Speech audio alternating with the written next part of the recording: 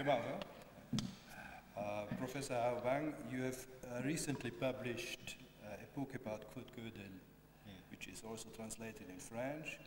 Uh, could you please uh, describe your way to Kurt Gödel? How did you meet him? When did you meet him first? Uh, I- I met Gödel for the first time in 1949. Came to his big office. In those days, he still had a big office. Uh, then in the 50s, I went to his house uh, to have tea with him. 1956, I think, was in uh, August 1956.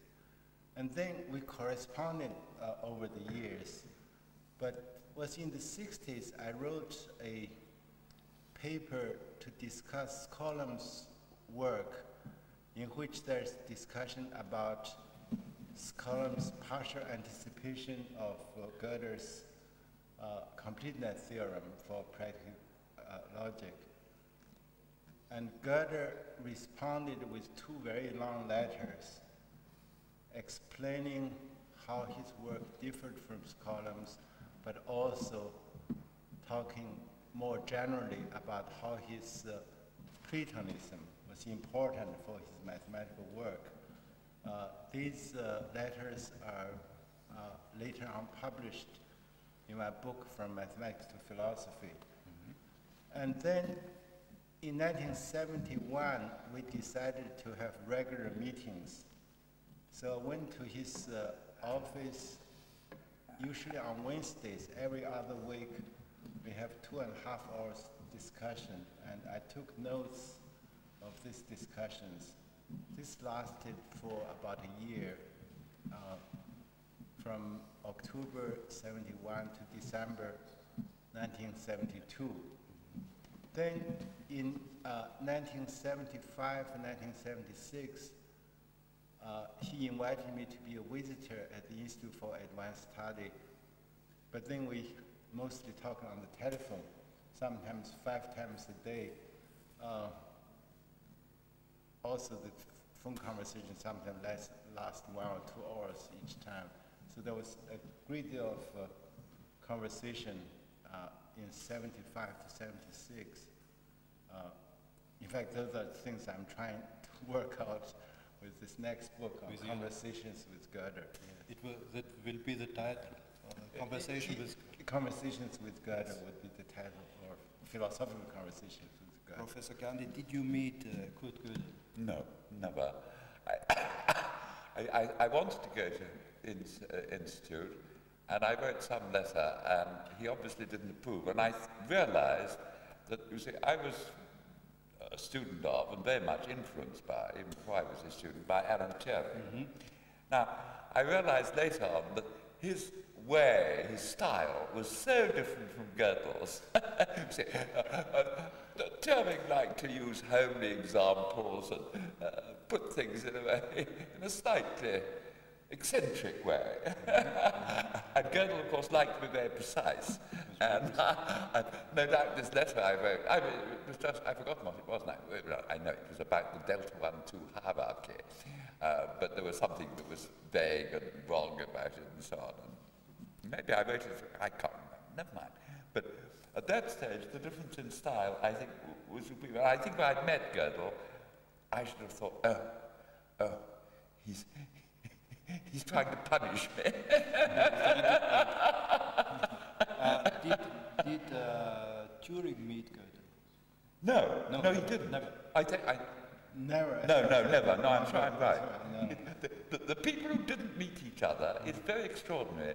Uh, Turing never met Kline, uh, uh, no, which is it? Church never met Hilbert. No, I, I've forgotten. The whole, when you look at it, it's extraordinary. The number of people who were interested in something who never met. May I ask uh, to you both uh, the following question: Which aspect of uh, the work of Kurt Gödel do you prefer personally? Ask him first.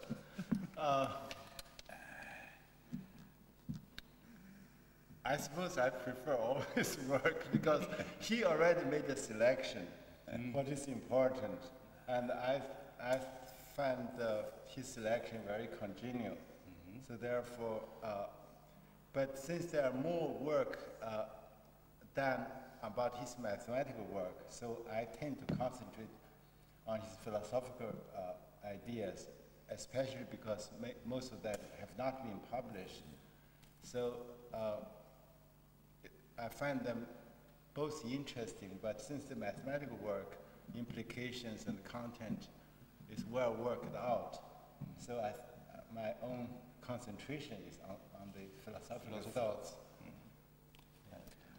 Uh, I, I think there are two things that impressed me. One was his discussions in the beginnings of recursion theory. I mean, the notes he gave, and then his rejection of his pointing out to Church that the arguments weren't good enough, and so on. And he, he played an important part there, and I, I, I, think, well, I think he was right. And of course, when Turing came along, he saw that that was a good analysis. And I, I must say, the other thing, of course, uh, uh, incompleteness plays a part in my logical life. But in fact, it's the set theory that is part that excite, excited me most. Begin, Turing said, oh, you, ought, uh, you ought to read this. He'd never read it. Turing never read it? Well, he, he certainly didn't know it at all well. When I told him something out of it, he said, how extraordinary. it was a long time. I, actually, I only really read it seriously much later. Um, but uh, no, that, that for a long time, that was a very, very big influence. If you want me to go on, you can always cut it out afterward. There was a conference in 1958 in, London, in uh, Reading, in England, and Hao Wang was there, and Shepherdson, and one or two other people. And I realized that if you use the, the Gödel condensation arguments, you had minimal models for set theory. And I thought somehow one could make something out of this. And they said, oh, no, no, that's, that's not getting anywhere. then Cohen actually made something out of it. I, I was too weak to make something out of it. um, may I ask you, what, what was the most remarkable property of his character? Oh, the most remarkable, I guess, uh, this precision and uh, and also the uh, ability to concentrate on what is fundamental. Uh, in fact, later in his life, he was very apologetic. He said that, you know, I always, uh, always want to do the fundamental work. As a result, of course, I neglect many things and also I don't publish enough. This was uh, in the 70s, he was saying. He, he was, seemed to be questioning whether would not have been more fruitful if he had uh, been willing to deal with uh, less fundamental questions.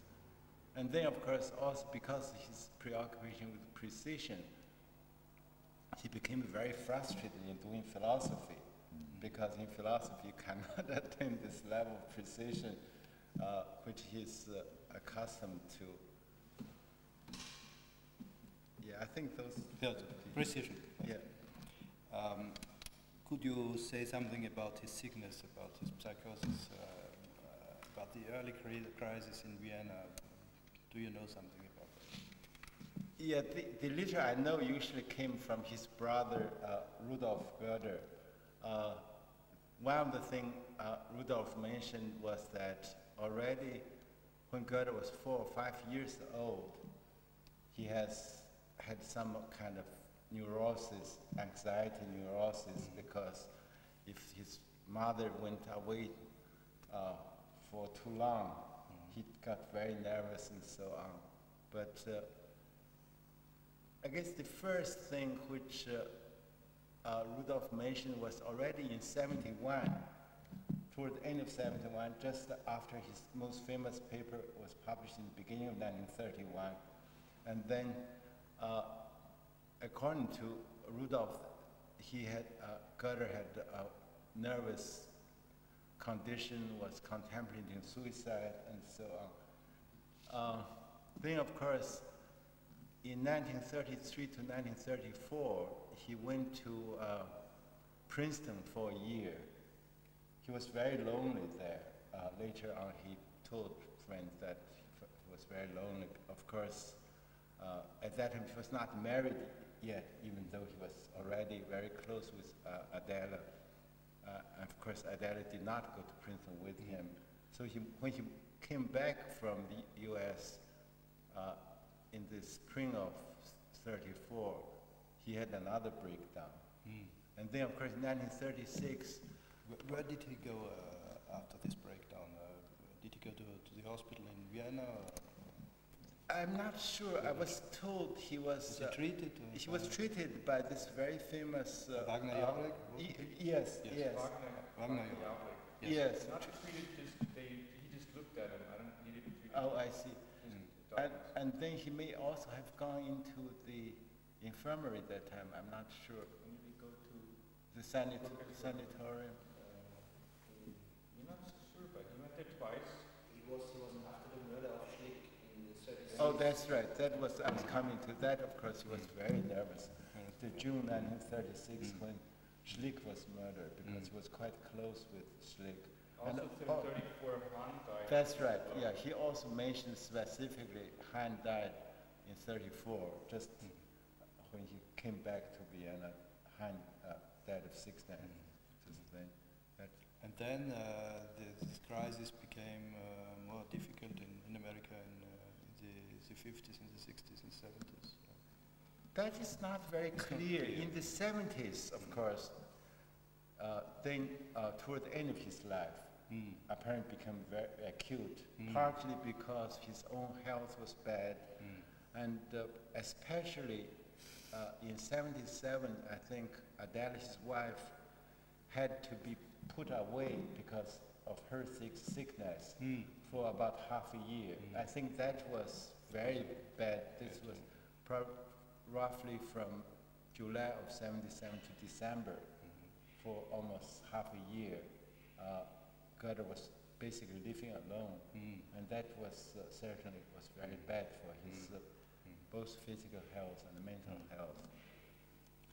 May I ask you now, uh, both uh, uh, the relation, uh, Professor Gandy, uh, could you say something about the relation Turing and Wittgenstein and uh, Gödel and Wittgenstein?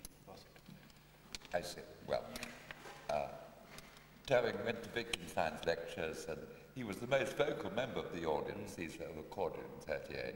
There are one or two things which I'm surprised Did he's you, made. did you go to? No, to no, I, I never met Wittgenstein.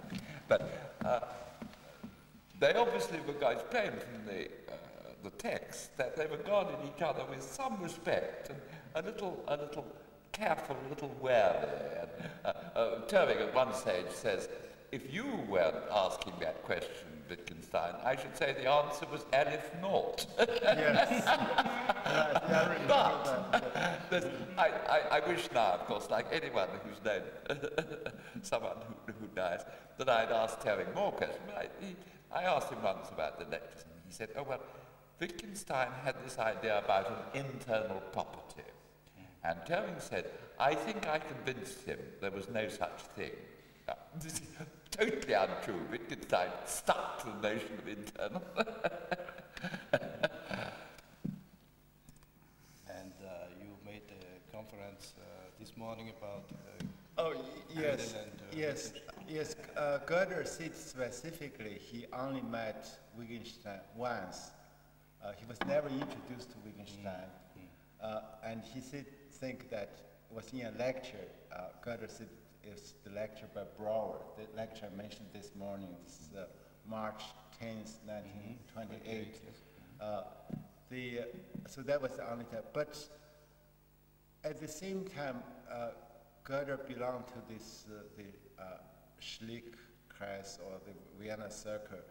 They discussed the Wittgenstein Tractatus very extensively from Did 1926. he appreciate uh, the Tractatus?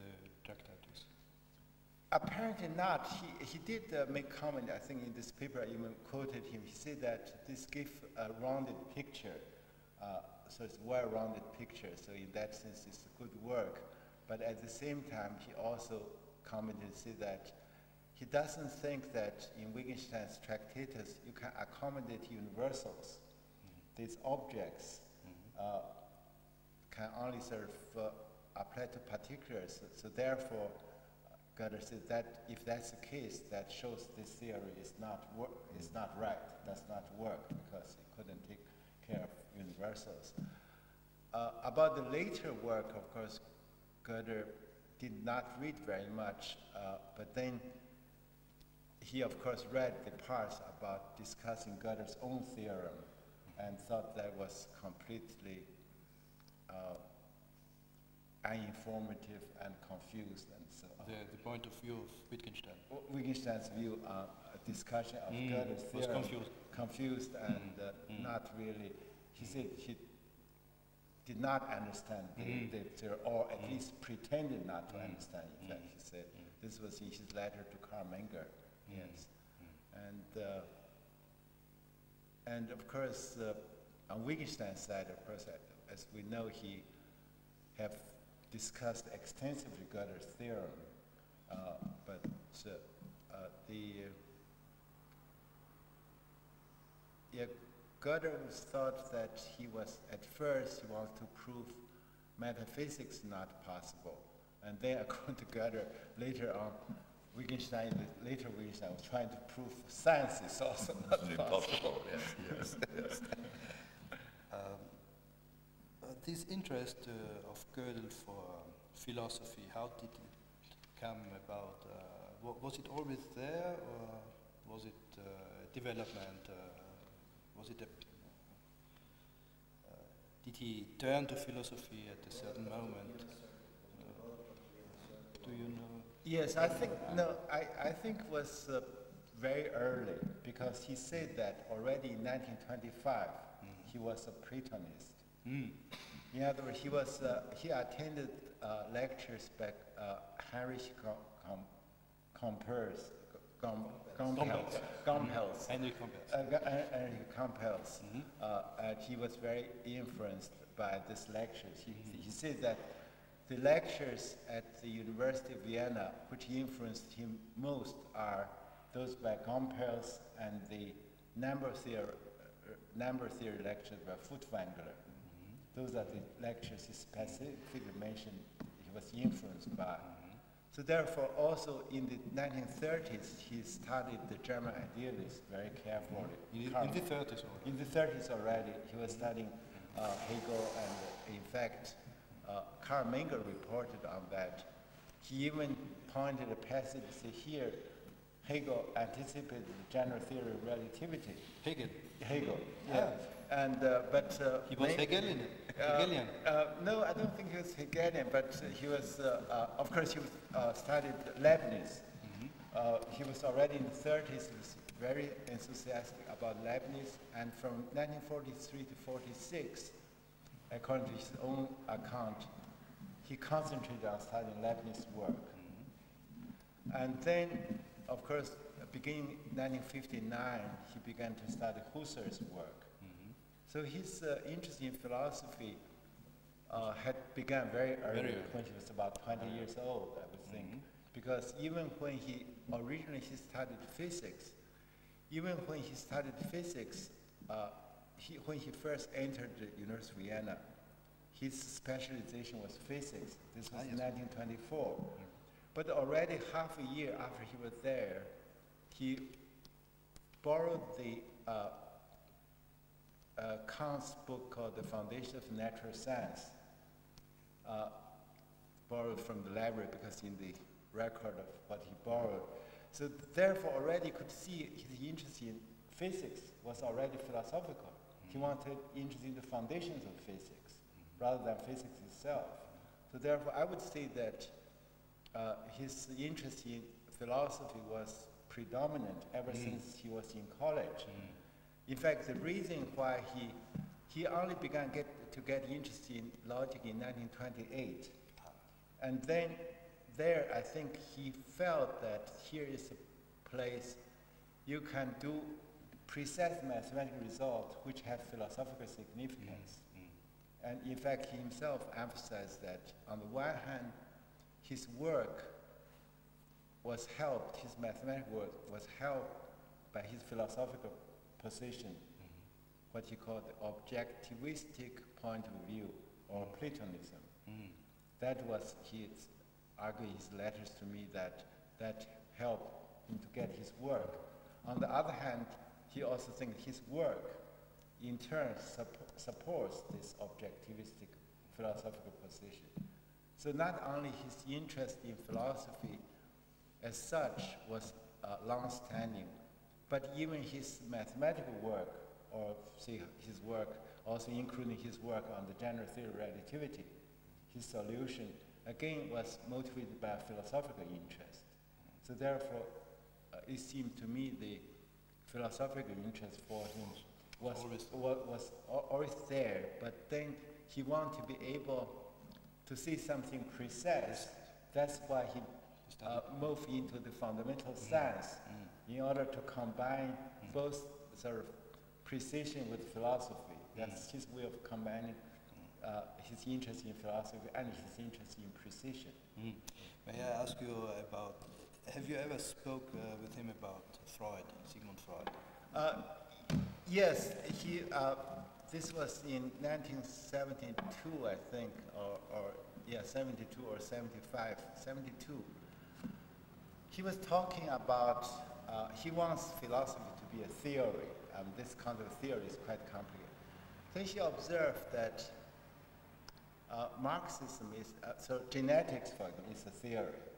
Um, physics, of course, Newtonian physics, he considered that's a, a, the paradigm of a theory.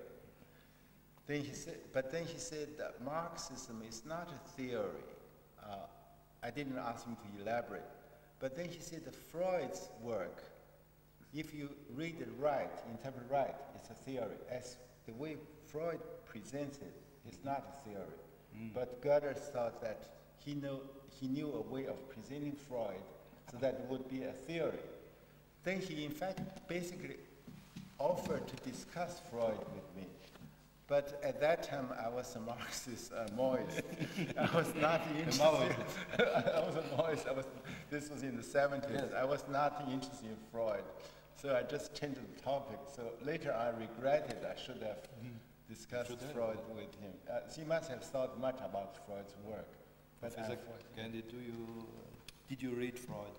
Yes, I, like anyone of my generation, I think. I mean, I, I read the interpretation of dreams, and, and I, I, uh, I, I, I, I noticed instances of the psychopathology of everyday life in myself. I once had a wonderfully Freudian dream, and then I analysed it for a week. You didn't, you didn't undergo an analysis? No. Uh, uh, the fact of the matter is, I, I, actually, the, the analyst I knew well was a Jungian analyst. And he said, you undergo analysis, you're the most stable personality I know of. So it was out of the question. And later on, the, well, it was just over the Freudians. I knew several psychoanalysts, and Whom did you know, for example? I, uh, they were children's psychologists in, in Hampstead. I don't Did you, think did you know Melanie Klein, for example? No, no, no. But it was, it, it, it just got overemphasized, didn't it? And of course, it also became uh, this word of Kreisel is rather fond of using now, of anything he dislikes. It's an ism. Once something is an ism, you don't want to have too much to do with it. So. But, but, but there are, there were insights. Did anybody of you read Jacques Lacan, uh, meet Jacques Lacan? I, I read some of his work. You- you read some? Yeah, I read some of his work. But What I, did you read? Uh, let's see, uh, what was, I don't even remember. There was also a dictionary edited by some fo- follower of his. Laplanche and uh, Yes, yes, yes. And uh, And I, I did, uh, in fact, uh, you read Lacan? Some of his work? yeah, I read some of his work, but uh, actually, I think it's around 1950, I did go to see a psychoanalyst because that I was uh, sort of new in America and then I was belong to something called Society of Fellows. Uh, everybody in the society thinks uh, himself as a genius. So about two-thirds of the people are going to analysts because felt a genius. they were not. Uh, so uh, one friend there urged, said, you must go see an analyst. Um, and so they finally, there was a student of uh, Freud's actually, I forgot his name, he was at Harvard Medical School. Finally, uh, is- he keep on pushing me. I said, all right, I'll make an appointment. This man so busy, finally he was able to see me January 2nd, I think was uh, um, 1950. Uh, It was in New York or? In New York, uh, no, in Boston, in Boston, Boston, yeah. There was a couch, still the old fashioned, I lay on the couch, just asked me to talk, just. Freely. Or freely, association, so. Afterwards, it, in those days, the charge was fifty dollars. Uh, I certainly couldn't afford going there regular fifty dollars a session. Also, I felt that Fifty dollars. fifty dollars a Very session. much money. Yeah, but just, uh, also that the fact that a lot of my problem, if I had so much money, my problem would, would many of my problems would be solved anyway. So I did not continue. May I ask uh, you, uh, each of you, uh, something about your actual work? Uh, perhaps you could resume uh, your, your conference of this morning or something, uh, the, the, the problem or the, the actuality. All right, so quickly. Of course, as one gets older, technical work becomes harder. I have one good idea, which Kerr referred to in his lecture, about how to interpret the infinite in the finite. But unfortunately, it went very well, but unfortunately, the interpretation is not sound for the quantifiers, and I, something is wrong. So, all right, so that's something I'm really interested in. It comes from, uh, I mean, thoughts from long ago. But, but, but I just say so. I'm working on a notion of sequentiality in higher types with a student, and that I think will finish. I think that will come out quite nicely eventually. But because I'm stupid, so I now spend more time thinking about history and about philosophy. The trouble about history is that I mean, there are some people who are natural historians. They find new material, and all. I only know the published stuff, and then I forget what I read. So. but it is an interest. It is, whereas when I was younger, it was not an interest. It is an interest, but Professor Wang, I have a question, whether Gödel ever talked with you about his visits with psycho, psychoanalysis? No, never did. He never talked about that, no. Uh, he didn't uh, undergo psychoanalysis. Good. Oh, yeah, Did he? with Hulbeck in New York. I Yeah. didn't know that. With whom? His German name was Hülsenbeck, and he also... wrote- Hülsenbeck. That was a Dadaist. He wrote... Uh, he's a psychiatrist. It was not a He psychiatrist. became, a- became a psychoanalyst in New York. Yeah, he became a psychoanalyst. look a very famous film about Kutger. It says everything inside. And also the interesting thing about the psychoanalysis was that he went there with his wife. There was a common analysis. It was a common uh, family analysis. Yeah, he never discussed that with me, no.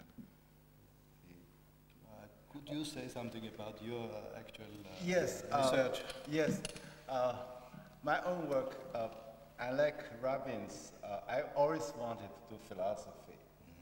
Uh, doing mathematics always was some way of showing I can do it too, but never wholeheartedly did any mathematics. Uh, so uh, for the last uh, 25 years or so, I basically concentrated on philosophy.